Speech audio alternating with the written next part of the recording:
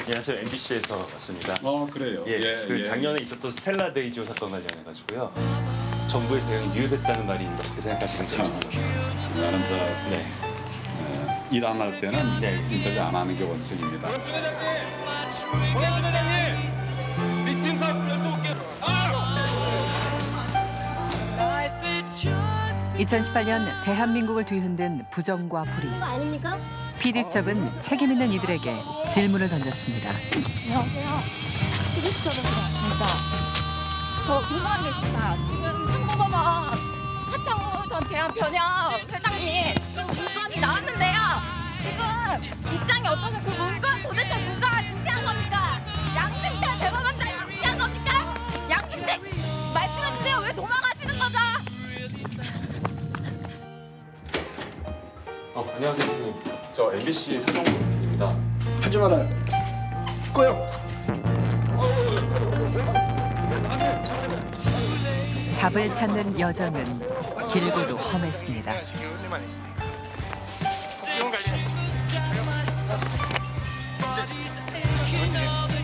한마디 해주시면 될 걸.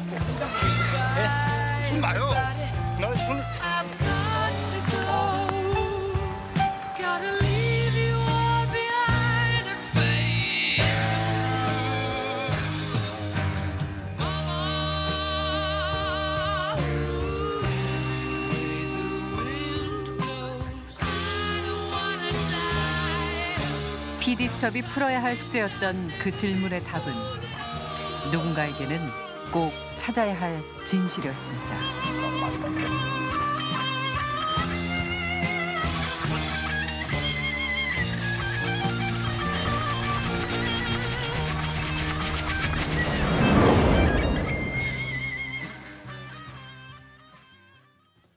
벌써 2018년 한 해가 저물어갑니다.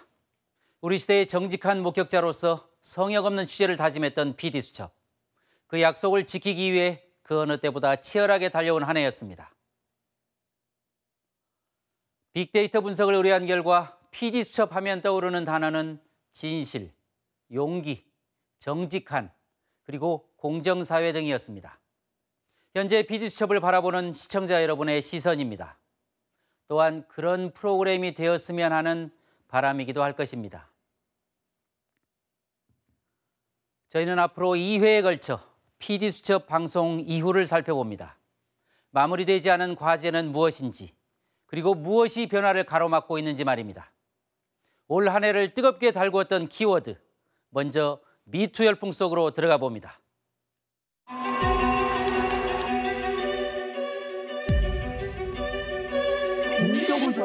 지난 3월 PD수첩은 김기덕 감독과 배우 조재현에게 성폭력 피해를 입었다는 여성들의 목소리를 담았습니다. 너희 계곡에서 나오는 물이 어떤 맛이니? 자랑은 만나본 적 있니? 막 이런 거. 나중에는 내가 너의 몸을 보기 위해서 같이 가서 너의 몸을 확인할 수 있냐?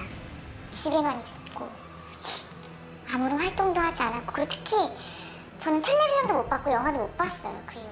영화를 보면은 그런 저 사람들도 다 그럴 것 같고 너무 더러웠어요. 그냥 더럽고 무섭고. 두 사람이 승승장구하는 동안 피해자들은 숨죽여 지내야 했습니다.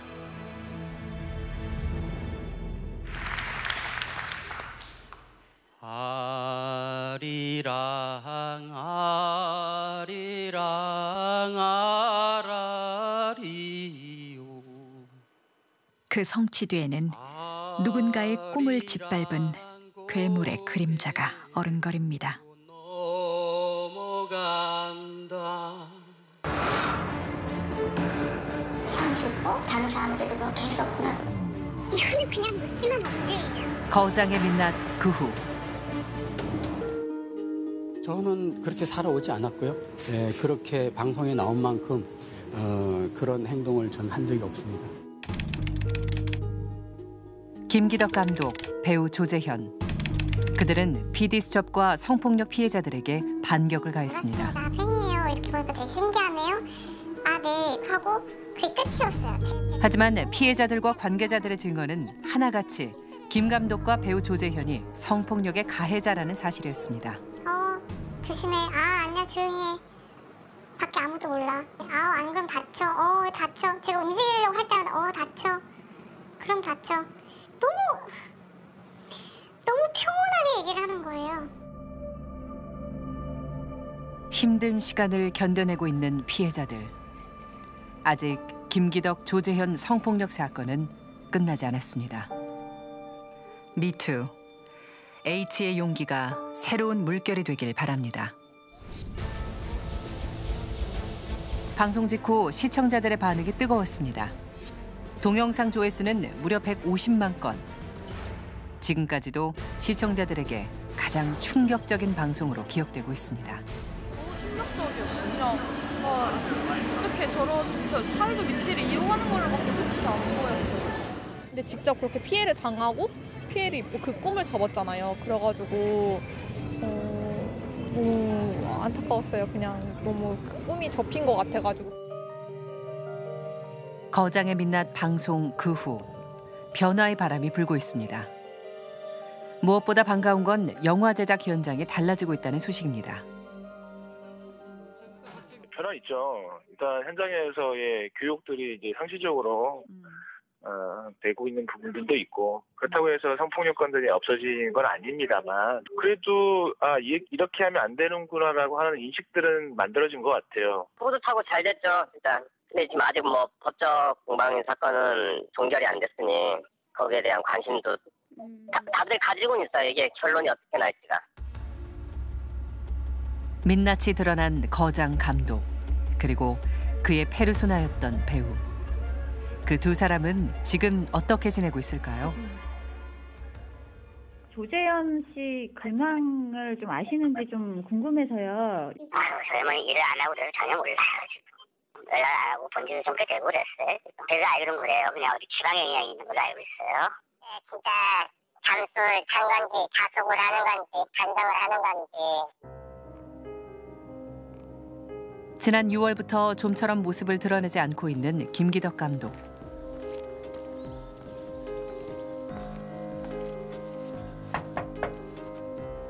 계세요. 그는 어디로 갔을까?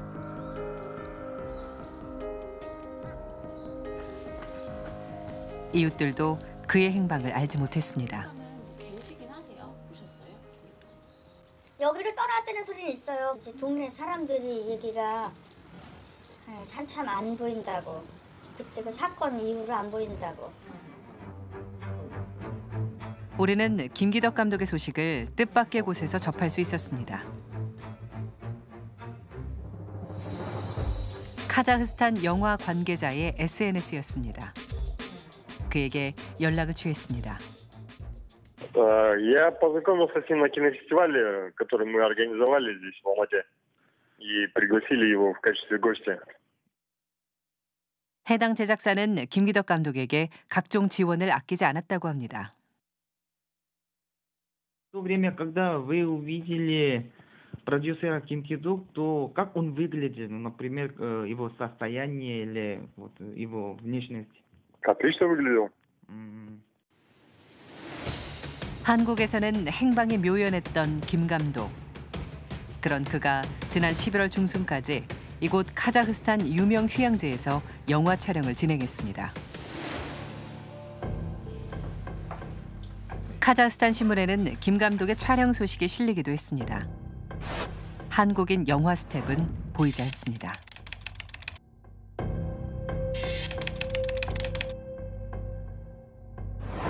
김기덕 미투 사건이 이곳에서는 거의 알려지지 않았습니다.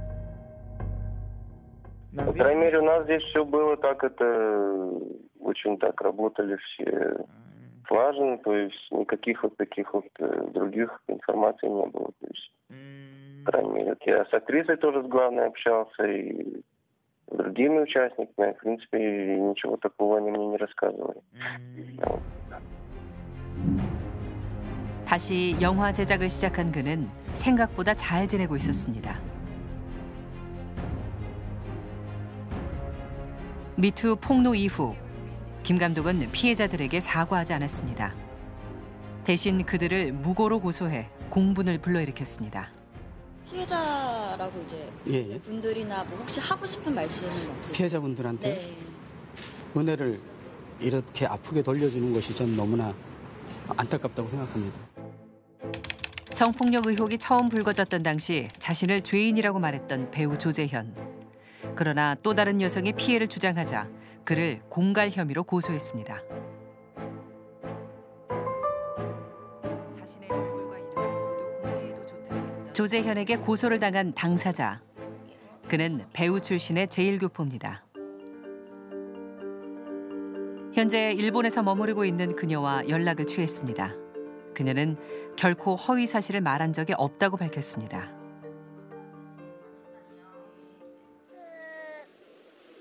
씨가 어, 거짓말이라고 얘기하는 거에 대해서는 아니라는 거를 제가 혼 하, 어, 혼자라 하, 저한 명이라도 더 많이 얘기를 하는 걸로 그게 진실이라는 거를 그, 그 피해자들이 얘기하는 게 거짓말이 아니라는 거를 얘기하고 싶었어요. 지금 그녀는 한 번 더 용기를 내는 중입니다. 아, 많이 편해졌어요. 그 PD수첩을 보고서는 그 후에 시청하신 분들의 이런 코멘트들도 많이 봤고요. PD수첩에 출연한 게 어떤 게 지시라는 거를 음, 아, 저기 그 본, 보는 사람들은 알아줬다 그렇게 느꼈어요. 지난 방송 당시 피해 사실을 털어놓는 동안 불안감을 감추지 못했던 H. 5개월 만에 다시 만난 그녀가 조금 달라져 보입니다. 내가 이거를 하지 않으면 나중에 또 몇 년이 지나서 똑같은 사건이 터졌을 때 그 죄책감을 견디기 힘들 것 같아서 시간이 흘러 그들의 잘못이 이대로 묻히지 않도록 H는 다시 한번 호소했습니다. 약간 이 방송을 보는 모든 사람들이 본인의 주변에 있는 소중한 사람들, 소중한 여자분들 에게 충분히 일어날 수 있는 일이고 일어났었던 거라는 거를 인지하고 관심을 가지셨으면 좋겠어요. 그래서 그 압박과 그런 것들로 행동들로 가해자가 진짜 나와서 사과할 수 있도록 좀 바라는 거 그밖에 없어요. 안녕하세요. 저는 어, 꽃보다 남자에 출연 중인 진선미 중에 선을 맡은 장자연이라고 합니다. 2009년 죽음을 선택할 수밖에 없었던 신인 배우 고 장자연. 그녀가 세상을 떠난 지 10년이 흐른 지금 그 진실이 서서히 드러나고 있습니다. PD수첩은 그녀의 안타까운 죽음을 둘러싼 추악한 비밀을 파헤쳤습니다.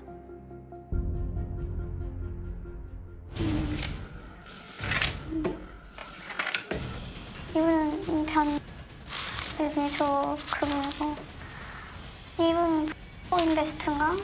여기 있는 분들 저분 제외하고 낮에 본 적은 없는 분들 제가 아는 것에 대해선 증언을 다 했는데 누가 하나 처벌을 받지 못한 것에 대한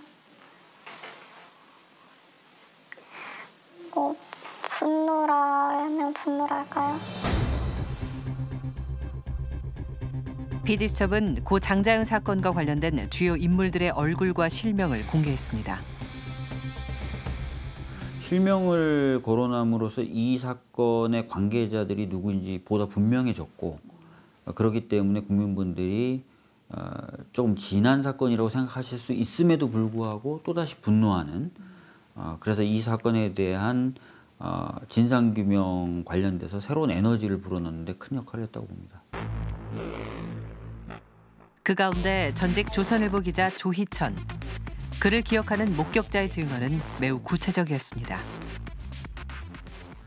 테이블 올라가라 그랬나? 그래가지고 올라가서 노래 부르면서 춤추고 내려올 때 이제 그분이 잡아당기고 무릎에 앉혔어요.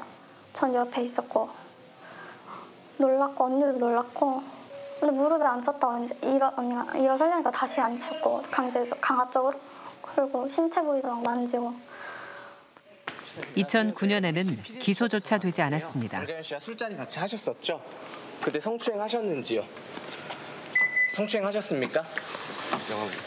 그리고 아내가 검사라는 이유로 수사에 어려움이 있었다는 경찰의 얘기들이 있습니다. 그거에 대해서 어떻게 생각하시는지요? 그는 피리 수첩팀을 사진으로 찍고 한마디 말을 남깁니다. 나중에 그걸 그의 말대로 그를 다시 만난 건 법원이었습니다. 조희천 전 기자는 강제추행 혐의로 불구속 기소됐습니다. 그는 고 장자연 문건 속의 인물 중 유일하게 공소시효가 남아 있었습니다. 목격자분 나오시거나 하면 혹시 꼭 묻고 싶은 게 있으시다거나 게 있을까요? 나중에 하겠습니다. 네, 감사합니다. 혐의 인정 부분에 대해서는 재판정에서 밝힌 거랑 네, 같은 말씀드렸습니다. 네. 그는 술자리 동석은 인정했지만 강제추행 혐의는 부인하고 있습니다. PD 수첩은 고 장자연 사건 당시 경찰의 부실 수사와 그 배후에 조선일보 측의 압력이 있었다는 의혹을 강하게 제기했습니다. 우리 조선일보는 정권을 창출시킬 수도 있고 정권을 퇴출시킬 수도 있습니다. 뭐 정권 운운하면서 뭐 저한테 협박을 해대니까 어, 저로서야 뭐저 때문에 뭐, 뭐 정권이 뭐, 뭐 왔다 갔다 할 수 있는 그런 걸로까지 제가 심각한 그 협박을 느꼈죠. 신인 여배우의 억울한 죽음 뒤에 숨은 힘 있는 자들. 그들이 권력을 방패 삼아 또 한 번 면죄부를 받는 일은 없어야 합니다. 없었습니다. 실장이요. 앞으로도 많이 지켜봐 주시고요. 예쁘게 봐주시고요. 더 많이 사랑해 주세요. 감사합니다.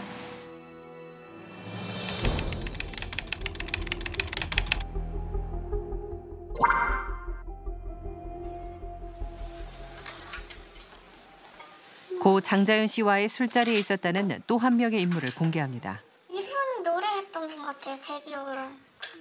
근데 노래하고 얼마 있다가 갔어요. 나중에 보자 이러고.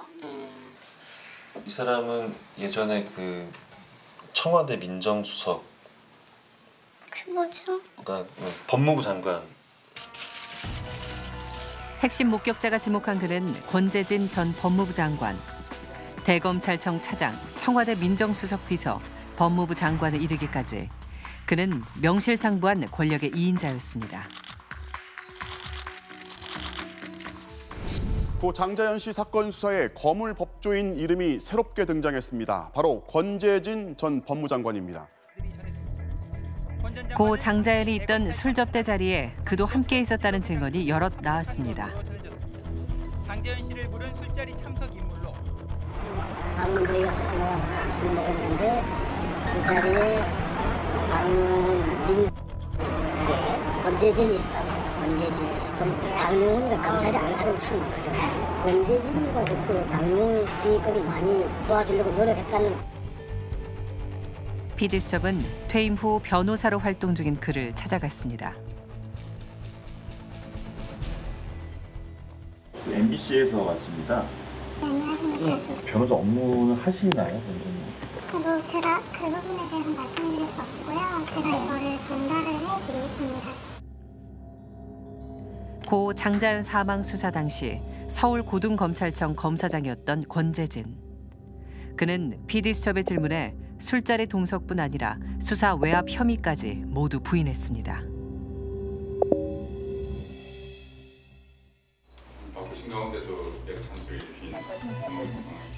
대검진상 조사단은 조만간 그를 소환 조사할 예정입니다. 또 다른 미공개 영상입니다. 사건을 수사 중이던 경찰 내에서 일어난 일입니다. 건수를 이만하게 열여섯 번 했으니까요. 보통은 몇 건 정도 복사돼요? 보통 사 실은 그거를 그렇게 복사 넣을 거 없죠. 다 훔쳐버리면 끝나는 건데. 우리가 이런 건수를 열여섯 번이 되는데 이걸 여덟 개 나오거나 합했다는 얘기를 내가 들었어요. 그래서 복사비가 엄청나게 나왔어요. 20몇 만이 나왔다는 얘기를 내가 들은 거였는데 하도 방대한 분량의 경찰 수사 기록. 그런데 검찰 송치를 앞두고 경찰이 수사 기록 전부를 다량 복사했다는 겁니다. 이제 아마 각 윗분들한테 하나씩 넘어갔다는 걸로 아마 기록을 웬만큼 다 넘어갔다고 보시면 그 복사본은 모두 어디로 갔을까? 검찰에서도 이 사실을 주목하고 있습니다. 어쨌든 저는 그게 너무 충격이었어요. 기록을 여러 번 복사했다는 게 그거는 있을 수가 없는 일이에요. 그리고 생각해 보세요. 근데 그 경찰은 당시에 이게 고위 간부들이 보려고 바- 복사했다는 것 같다 이러는데 우리 검사를 또 뭐라 그러냐면 그거는 보고서를 봤지 누가 기록을 다 보냐고 경찰 누가 총체적인 경찰의 부실 수사, 저희가 수사 결과를 아, 발표하도록 하겠습니다. 검찰의 소극적인 수사 지휘. 그 뒤에서 언론의 역할을 저버린 채 사주의 가족을 보호하려 했던 거대 언론. 그들이 감추려고 했던 비밀이 어디까지 드러날 수 있을지 끝까지 지켜봐야 합니다.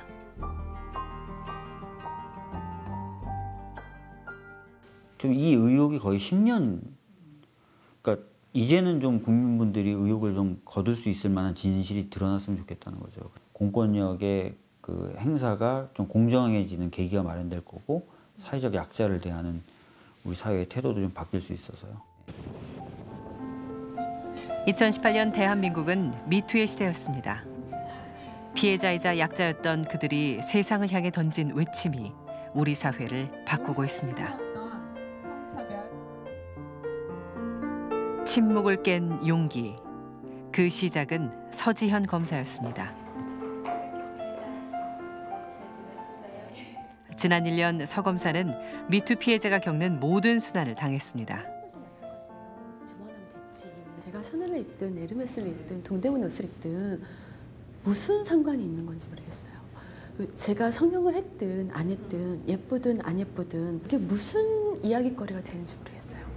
왜 도대체 피해자에 대해서 그렇게 엄격한 잣대를 갖다 대고 피해자에 대해서 그렇게 참 과도한 관심을 보이시는지 가해자에겐 도대체 어떤 관심을 보이고 있나요? 서 검사는 현재 가해자와 국가를 상대로 손해배상 청구 소송을 진행 중입니다. 피해자의 당연한 권리를 세상에 보여주기 위해서입니다. 저는 하루빨리 성폭력 피해자도 다른 절도나 사기나 상해 사건 피해자처럼 어떤 두려움 없이 내가 꽃뱀으로 의심받을까 봐 두려워하지 않고 가해자가 제대로 처벌받고 피해자가 제대로 보호받고 피해가 회복되고 하는 법과 제도를 시스템을 만들어야 한다고 생각해요. 그러지 않고 피해자들에게 용기를 내세요. 앞으로 나오세요. 라는 말은 아무런 의미가 없겠죠. 그것이 바로 제가 이 자리에 앉아 있는 이유이기도 하고요. 서지영 검사는 대한민국 미투의 시작을 알렸습니다. 서 검사는 미투가 번져나가는 세상이 아니라 미투가 필요 없는 세상을 원한다고 말했습니다. 미투를 하지 않아도 피해자가 보호받고 가해자가 처벌받는 게 너무나 당연한 세상 말입니다. 아픈 상처를 드러내며 미투 운동에 나섰던 모든 분들, 그들의 결단과 용기가 세상을 바꿔나갈 것입니다. 성폭력 가해자의 법적인 공소시효는 존재해도 피해자의 고통에는 공소시효가 없습니다. 저희는 익명으로 숨어버린 가해자들 그리고 사건을 은폐하려는 권력자들의 실명을 끊임없이 공개할 것입니다. 특히 김기덕 조재현 사건의 결말과 장자연 사건의 진실에 대해서도 끝까지 지켜보겠습니다. 올 한 해 아파트 값은 대한민국의 화두였습니다. 지난 4월에 방송된 누가 아파트 가격을 올리는가. 우리가 56평 있잖아요. 25억, 35억,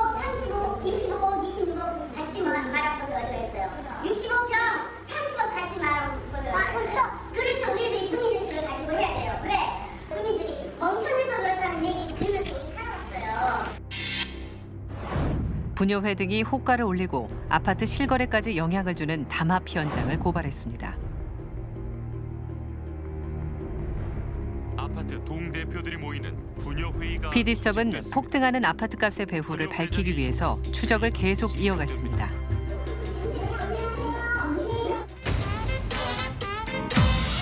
그리고 정부에서 뭐라고 하시던 믿지 마시고 지난 10월 방송한 미친 아파트값 2부작.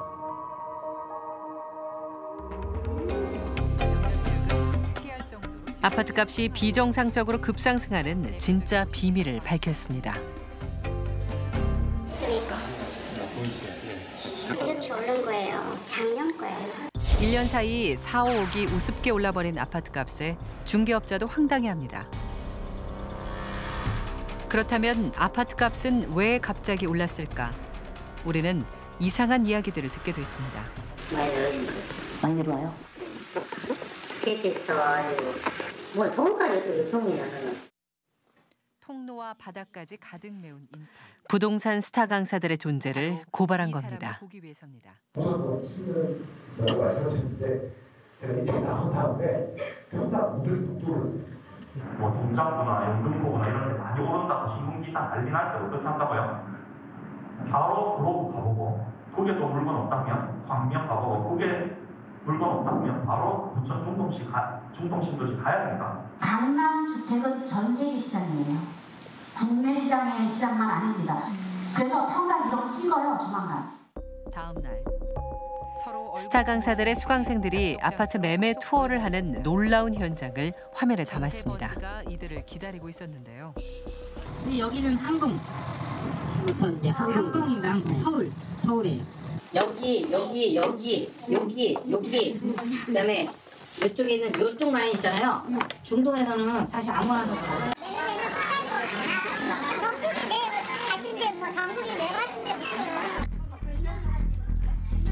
투어에 나선 이들은 전문 투기꾼도 아니었습니다. 주부, 학생 등 평범한 사람들이었습니다. 투자라는 이름으로 투기를 부추기는 스타 강사들의 실체. 가세요. 더 이상 나가서 들거 없어요. 가세요. 예. 아니 그러니까 제가 아니 지워라고요. 아니 이건 아니 모르겠어. 우리는 합법이냐. 찍지 마세요. 아저씨 진짜로 막. 1년 사이 4, 5억이 올랐던 아파트들은 방송 그 후 어떻게 됐을까요? 지금 12억 3천 이런 것도 저는 한참 그 8달 그럴 때는 13억 8천 까지 13억 8천이면 한거 사랑방 한거 아 그만 1억 5천이 빠졌네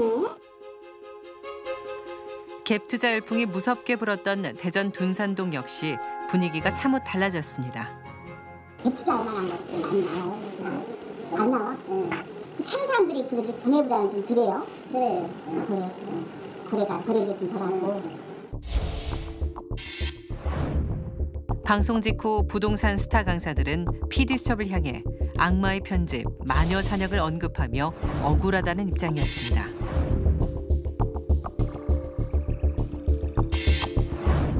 그나마 책임감을 느끼며 더 이상 강의를 하지 않겠다는 일부 강사도 있었습니다.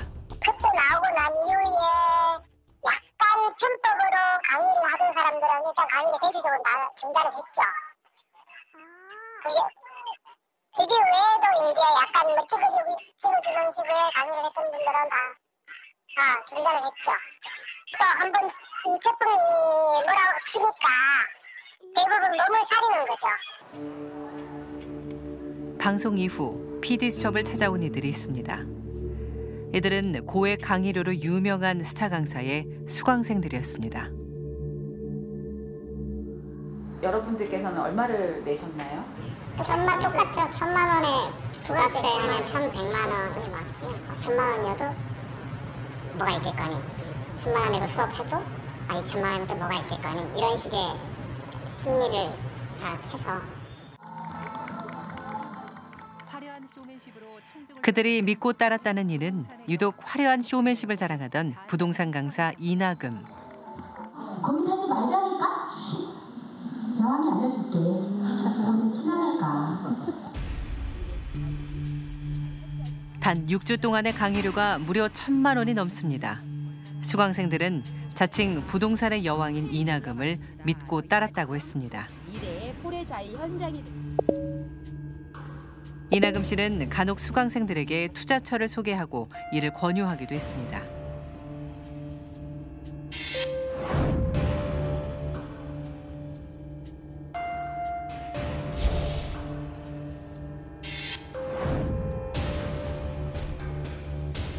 그중엔 위험 부담이 큰 수익형 호텔도 있었지만 수강생들은 부동산 여왕의 선택을 믿고 의심조차 하지 못했습니다.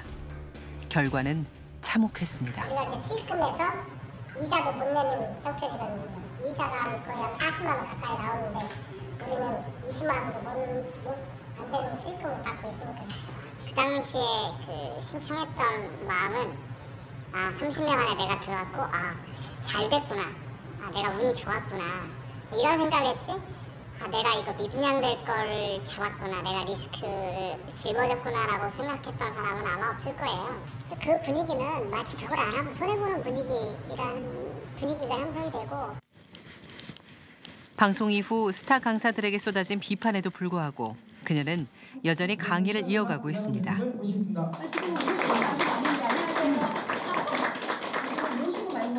안녕하세요. 저는 이제 부동산 여왕이었는데 국가가 스타 강사를 만들어줘가지고 스타 강사 일하고 갑니다. 반갑습니다. 저는 피디수들 되게 좋아했거든. 절대 거 왜냐면 저는 뭘 느꼈냐면 그것이 진실된 방송이길 바랬어요. 여러분들이 월급 500만 원을 회사에서 받기 위해서 보통 15년, 20년 근무하시잖아요. 그 500 때문에. 근데 부동산 투자 잘하면 1억, 2억, 3억, 4억, 10억을 버는데 시간 그녀의 강의 내용은 달라지지 않았습니다. 두 달에 한 번 정도씩 계속 교육받는 수강생들이 어, 4, 50명씩 계속 있습니다. 그러다 보면 선의의 피해자는 계속 늘어나는 거죠. 저희들이 지금 피디수첩에서 제보를 하거나 인터뷰를 했을 때 바로 그 피해 물건을 보상받거나 환불받을 거라고 생각하지는 않습니다. 그 내용들에 대해서 어, 사회에서 정말 떳떳하게 행세하는 것이 잘못됐다라는 것들을 적시해 줄 수 있는 계기가 되길 바라는 거죠. PD 수첩은 미친 아파트값의 근본적인 원인이 잘못된 정부 정책임을 지적했습니다. 오히려 정부에서 그렇게 과열 지구 투기 지역으로 찍은데 거길 사야 된다. VS3 대책 때문에 난 압박을 느껴서 팔아야지라는 사람은 없습니다. 정권 바뀌기까지만 기다려 보면 뭔가 좀 숨통이 트이지 않을까? 정권은 몇 년 안 되잖아요. 주택 임대 사업자들에게 주어진 세제 혜택으로 투기 세력들은 아파트 사재기가 가능했고 집값 상승을 이끌었던 것입니다. 비디수첩은 주택 임대 사업자 세제 혜택을 조목조목 비판했습니다. 가진 주택 임대 사업자의 세금은 각각 어떻게 될까? 재산세의 경우 1주택자는 연 370만 원, 백채 임대 사업자는 면제, 10년 보유 후 매도 시 1주택자의 경우 6억 원 오른 집값에 대한 양도소득세 2,900만 원. 반면 같은 기간 집값이 150억 원 오른 임대사업자는 양도소득세 면제. 종합부동산세의 경우 1주택자는 연 75만 원. 임대사업자는 이마저 비과세입니다. PD수첩 방송 이후 부동산 정책을 바로잡으려는 움직임이 생겼습니다. 한 국회의원이 주택임대 사업자 세제 혜택을 모두 폐지하는 법안을 발의했습니다. 너무 어려서 읽지를 않는다는 거예요. PD수첩에서 이 문제가 너무 터무니없고 황당한 제도다라는 것을 아주 노골적으로 보여주셨기 때문에 이 혜택을 전부 없앤다는 거예요. 이 부동산 투기라고 하는 것은 언제든지 여건이 되고 기회가 되고 재료가 있으면 다시 살아난다는 거예요. 그러니까 이 정부가 지금 이렇게 시장이 좀 음, 수그러든다, 수그러드는 것처럼 보인다고 해서 안심할 일은 절대 아니라는 거죠. 미친 아파트값의 비밀 2부작이 방송된 직후 국세청은 부동산 스타 강사 21명을 대상으로 세무조사에 작수했습니다. 그 결과 고액의 강의로 해서 탈세 혐의가 포착되거나 불법 다운 계약서 등이 드러나기도 했습니다. 부디 이 조사가 전시 행정으로 그치지 않기를 바랍니다. 그동안 아파트값 폭등의 책임이 누구보다 정부에 있었던 것도 사실입니다. 다행히 아파트값이 진정세를 보이고는 있지만 여건과 재료가 주어지기만 하면 언제든지 빈틈을 노렸던 것이 투기 세력이었습니다. 앞으로 문재인 정부가 부동산 정책을 어떻게 실행해 나갈지 국민들은 두 눈 부릅뜨고 지켜보고 있습니다. 지난 촛불혁명 이후 시민들은 권력기관들의 개혁을 뜨겁게 열망했습니다. PD수첩은 권력기관들의 잘못된 행태를 정면으로 취재했습니다. 바로 국회와 기무사 그리고 검찰입니다. 대한민국 권력기관을 정조준한 PD수첩. 국회의원 해외 출장비의 실태, 무소불위의 국회 사무처를 고발했습니다. 어디에다 썼는지를 우리는 확인할 필요 없다는 겁니다. 와이프들을 다니고. 법에 걸리는 그런 비싼 건 아닌 걸로 알고 있는데. 아니 국회 사무처는 회의실도 공개가 안 된다는 얘기인가요 그럼?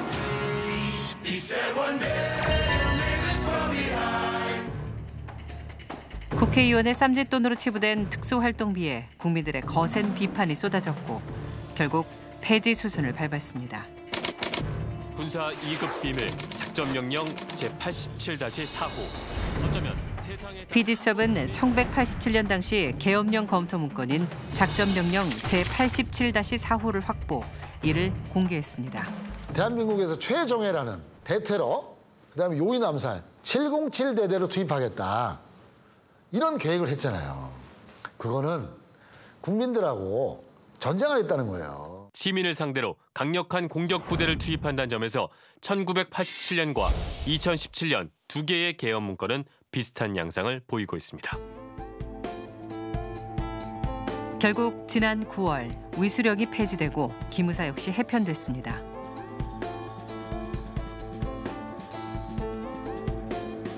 그리고 계엄령 문건 작성의 핵심 피의자인 조현천 전 기무사령관. 2017년 계엄 계획의 실체를 규명하기 위해서 도피 중인 그의 국내 소환이 시급합니다.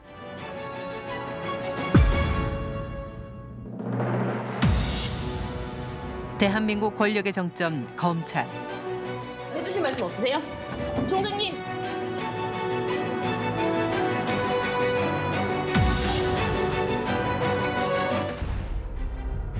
검사 위의 검사, 정치 검사. 국민이 아닌 권력을 쫓는 검찰의 부끄러운 민낯을 폭로했습니다. 권력과 결탁한 한 무리의 정치 검사들이 대한민국 검찰의 대명사였다는 것을 검찰은 부인할 수 있을까요?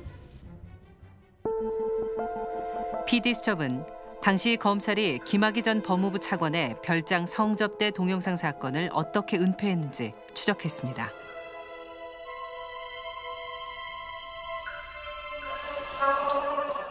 속옷 차림의 남성이 여성을 껴안은 채 노래를 부르다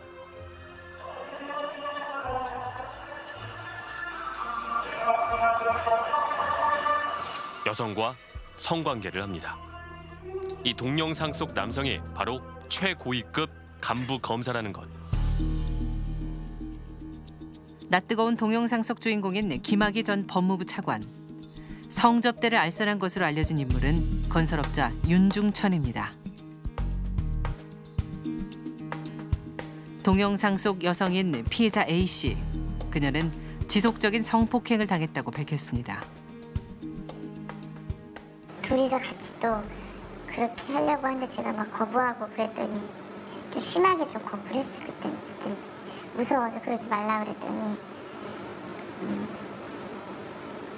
김학이가 이제 어이없어갖고 이렇게 있을 때 민준천이가 이제 손을 지르고 형 내려가요 내려가요 또 내려가고. 윤중천이 걔 형이라고 그래요? 이 하기영 하기영 그래요. 하기영이라 그러고 하지만 검찰 수사는 제대로 이루어지지 않았습니다. 차장 검사였습니다. 검찰에서 저한테 갔을 때 무섭다 그랬거든요. 뭐가 무섭냐. 김학의 권력도 무섭고 윤유천의 힘도 무섭고 난 다 무섭다. 보복당할까 무섭다 그랬더니 저보고 또 그냥 용서하고 그냥 얼굴도 예쁜데 살아 그냥 잊고 살아라 이런 식으로 얘기를 하더라고요. 당시 검찰은 피해자 A 씨의 주장을 받아들이지 않았습니다. 대신 김학의 전 차관과 건설업자 윤중천의 진술만을 인정했습니다. 말씀 한 말씀 하고 주시죠. 뭐 뭐가 접대를 뭐 뭐 내가 접대할 이유가 뭐가 있어서 접대를 합니까? 서울중앙지검 결국 검찰은 이해할 수 없는 수사 결과를 발표합니다. 동영상 속 인물이 누군지 알 수 없으며 김학의, 윤중천 두 사람 모두 혐의가 없다는 것입니다. 건설업자 윤중천에게도 증거 불충분 무혐의 처분을 내립니다. 윤유천이는 큰 보험을 들여놨다는 거예요. 누가 걔를 건드려 이러더라고요. 어떤 보험? 기마귀라는 그 보험이 들어갔다는 거예요. 그 기마귀를 건드리려면 검찰이 세상에서 얘기하는 자기 식구잖아요. 그럼 자기네 친구를 건드려야 되고 윤준수는 받을 수밖에 없겠죠. 당시 김학의 전 차관 사건을 담당했던 검사들. 그들은 사건을 축소하고 성폭력 피해자의 고통을 외면했습니다.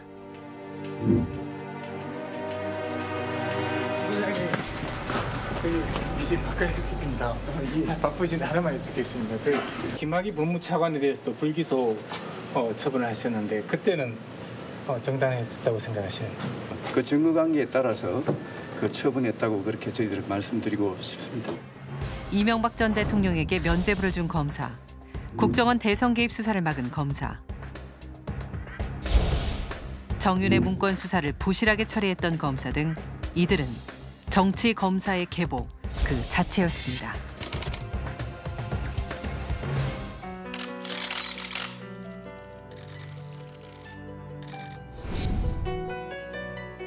방송 직후 검찰의 부실 수사를 비판하고 재수사를 촉구하는 여론이 뜨거웠습니다. 마침내 4월 23일 검찰 과거사위원회가 김학의 사건을 본조사로 확정합니다. 그런데 지난달 9일 그동안 신분 노출을 극도로 꺼려했던 피해자 A 씨가 거리에 나섰습니다. 과거사위원회는 형식적인 조사로 인해 잘 무죄리까지 나오게 하였습니다. 도대체 과거사 조사를 왜 하는 것인가요? 아, 내가 또 누구와 싸우는 것인가? 아, 이건 정말 겉핥기구나. 눈 가리고 아웅하는 거구나. 조사를 받고 온 저의 판단이었습니다. 피해자 A 씨의 입장을 듣고 싶었지만 쉽지 않았습니다. 검찰 재조사 과정에서 무슨 일이 있었던 걸까? 대뜸 이 사건은 피해자분의 피해 때문에 이제 조사하는 게 아니라 그때 당시에 있었던 검찰 수사 과정에 뭐가 잘못이 있었는지를 확인하기 위한 거니까 너무 크게 기대하지 말라는 얘기를 먼저 하시더라고요. 피의자는 저희 뭐 조사단에 부른다고 해서 꼭 나오는 게 아니니까 그것도 너무 기대하지 말아라. 기대하지 마라. 진실을 밝혀줄 거라 믿었던 검찰이 또 한 번 피해자의 희망을 무너뜨렸습니다. 그뿐 아니었습니다. 재조사 과정에서 피해자가 제출한 주요 증거마저 누락한 것입니다. 동영상 속의 인물이 김학이라는 사실을 건설업자 윤증천이 인정한 녹취록이었습니다. 적어도 검찰 과거사위원회는 그냥 일반적인 수사가 아니잖아요. 당시에 검찰이 분명히 검찰권 남용을 했거나 인권 침해 사안이 있다는 거고 분명히 그 단서에 기인해서 이 문제를 조사를 해야 되는데 되게 미진한 부분들이 있으니까 좀 이제 의심이 드는 건 정말로 너네가 개혁을 하려고 하는 건지에 대한 이제 의심이 드는 거죠. 김학의, 윤중천 두 피의자들의 소환 조사조차 하지 않았습니다. 이제 피해자 김학의는 그냥 소환 조사 없이 자기 진술을 부인하는 내용의 의견서만 제출하고 또 윤중천의 경우는 어, 아예 조사도 못 받은 것으로 알고 있습니다. 저희가 되묻고 싶습니다. 제 조사단에서는 뭘 할 수 있고 뭘 하고 싶어서 이 사건을 시작하신 건지. 그렇다면 김학의, 윤중천 두 사람을 무혐의 처분했던 당시 수사 담당 검사들의 조사는 제대로 되고 있을까요? 현직 검사들도 그렇고 변호사 출신 된 그, 그 검사들도 그렇고 어, 안 오는 사람도 있고 오는 사람도 있습니다. 그래서 그런 것들이 되게 이렇게 설득도 해보고 해도 그 아, 아예 안 오겠다는 사람도 있거든요. 그러니까 무슨 말을 해도 그래서 그러면 저희는 참 답답한데 어쩔 수 없는 거고. 자신의 피해 진실을 피해자는 다시 묻고 있습니다.